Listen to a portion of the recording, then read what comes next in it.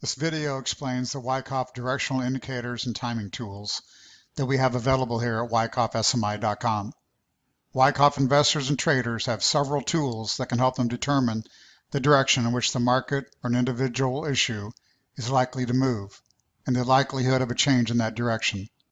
These tools were developed and expanded on by Richard Wyckoff and his associates dating back to the 1930s. These tools are the Optimism Pessimism Index, better known as the OP, the force index, and the technometer. They are all derived from the volumes of the intraday buying and selling waves. The purpose of these tools is to confirm the indications provided by the price and volume action. They are not intended to take the place of a regular interpretation of the character of the price and volume action, the trend of that action, or the position of the action in the trend. Those who attempt to use them in this incorrect manner are embracing a mechanical approach to Wyckoff. The market may let them get away with this approach for a while. However, the Wyckoff approach is judgmental and not mechanical. Those who persist in efforts to use these tools in a mechanical manner will eventually pay a price for their laziness. Wyckoff tells us that for a move in the market or an individual issue to continue, there needs to be harmony between effort and result. The result is measured by the amount the price moves from point A to point B. The effort is measured by the OP. The OP moves from point A to point B by adding the volumes in the up waves and by subtracting the volume in the down waves. Our Pulse of the Market charting software calculates every five minute wave of each and every trading day to calculate this OP. As long as the price of an index or an individual issue and its OP are moving in the same direction at approximately the same rate, making similar highs and lows relative to previous highs and lows, the price is likely to continue making progress toward an indicated objective. Positions taken in anticipation of an objective being reached can be maintained as long as this harmony exists, and new positions can be considered at appropriate points in the action.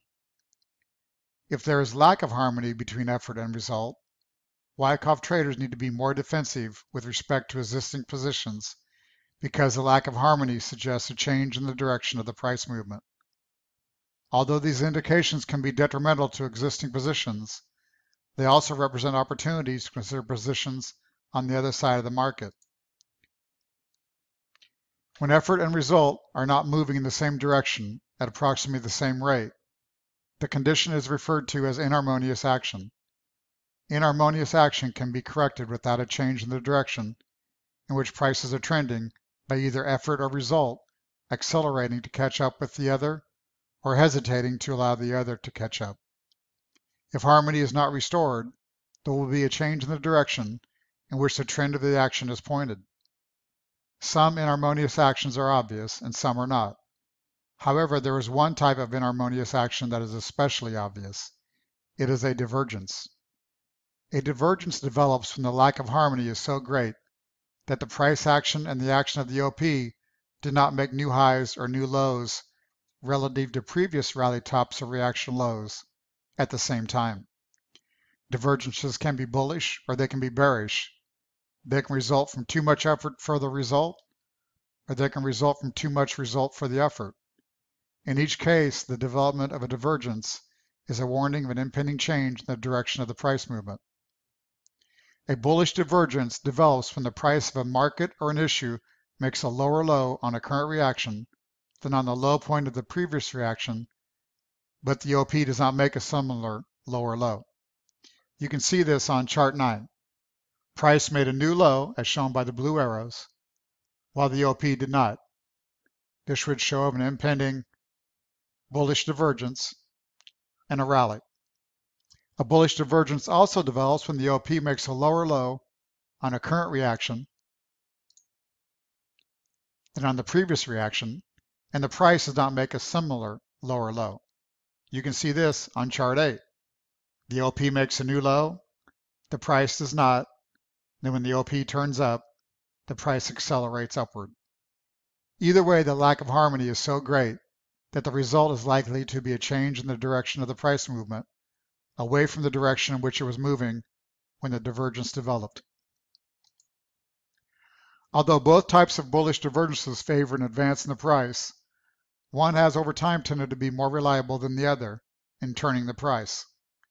If the OP makes a lower low and the price does not, the situation is indicating effort without result.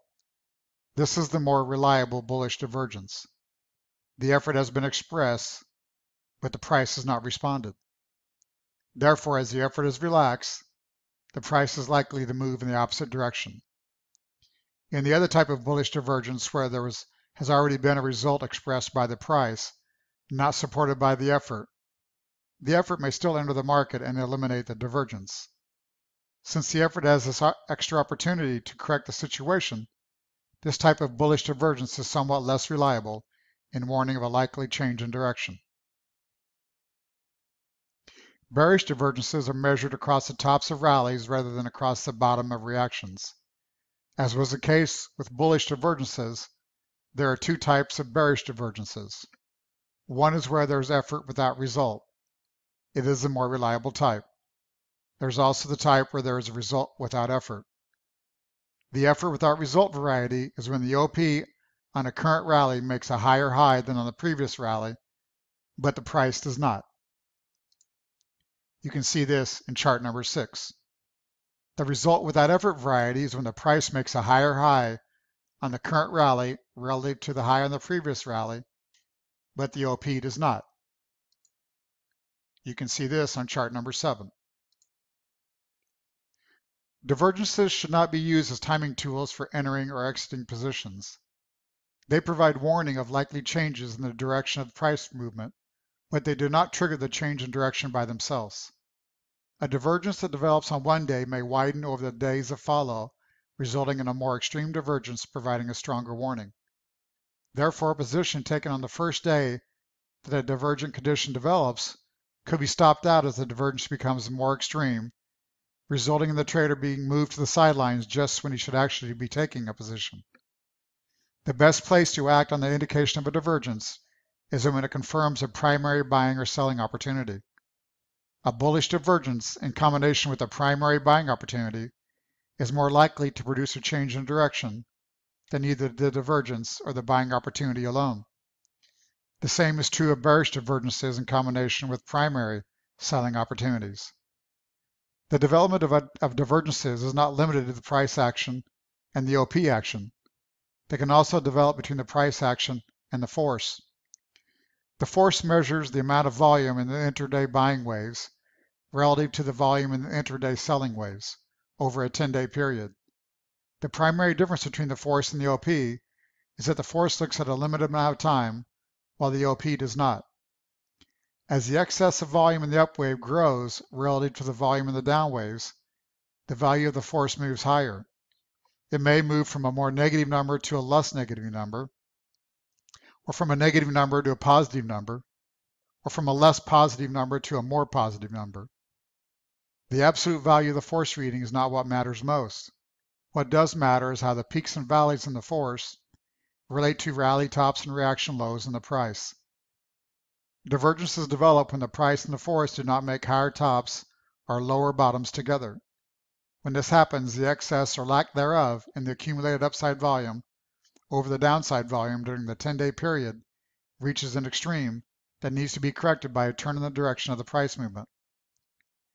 The short-term excesses mentioned above are a tool that can be used in timing the entry or exiting of a position, or an adjustment in how a position is managed.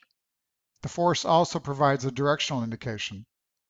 If the value of the force from day to day are posted to a chart, the Wyckoff trader will note that they tend to trend. This means that there will be periods of time when there are lower peaks and lower valleys, and periods of time when there are higher peaks and higher valleys. Trend lines can be drawn on the chart of the force, just as they can be drawn on the chart of the price action. When a trend in the movement and the force is broken, the indication is that a change in the direction of the price action should be anticipated. As with the price and OP relationships, the price and force relationships are most reliable when they confirm primary buying and selling opportunities. The technometer is a timing tool only. It indicates overbought and oversold conditions. The technometer measures the ratio of the volume of the intraday buying waves relative to the volume in the intraday selling waves over a five-day period. However, longer time periods can be used to provide longer-term overbought and oversold indications. Theoretically, the technometer reading of a market or an issue can range from 0 to 100. However, neither of these extremes has ever been recorded or is likely to ever be recorded. A reading of 0 would require five consecutive days during which there was only one intraday wave per day and the only down waves for each of the five days. A reading of 100 would require five consecutive days during which there was only one intraday wave per day and only up waves for each of the five days. Decades of monitoring the technometer readings have revealed that the readings of 50 or higher should be viewed as indicating an overbought condition, and that readings of 38 or lower should be viewed as indicating oversold conditions. A reading of 44 indicates absolute neutrality. When an overbought condition is indicated, the price is vulnerable to downside progress. When an oversold condition is indicated, the price is vulnerable to upside progress. If an overbought or oversold condition on one day is replaced by a more overbought or more oversold condition the next day, the vulnerability of the price to a reaction or rally increases. The degree to which the market or an issue is overbought or oversold does not provide any indication as to the size of the reaction or rally that is being forecasted. These indications are provided by figure charts. Although overbought or oversold conditions may develop at any time as the price action unfolds from day to day, those that develop in the prices in primary buying or selling positions are the most important. On the following chart, you can see the price broke to a new low from the week before as well as months before. The force did not break to a new low on either occasion. Then as the technometer started registering an oversold reading, the price put in an intermediate term low. On the next example, the force went to a new low, but price did not follow, and then the technometer became oversold. Once again, price consolidated at the blue circle, then began a sustained rally. On the last example, price breaks out to a new high, the force did not. Then the technometer registered an overbought reading. Price then upthrusted the previous resistance and collapsed. The indications provided by the OP, the technometer, and the force should be used to confirm the indications of the price action. They should not be used in lieu of an interpretation of the price and volume action. Anyone who does so is attempting to use these tools in a mechanical manner, and that will not result in the desired results over time. This warning cannot be stressed too much. These tools that we have shown here are proprietary to the wyckoffsmi.com, and they are very valuable in providing the results that we have experienced over the years. If you'd like to learn more, take our Wyckoff Unleashed course or sign up as a subscription to our Pulse of the Market charting software. Thank you.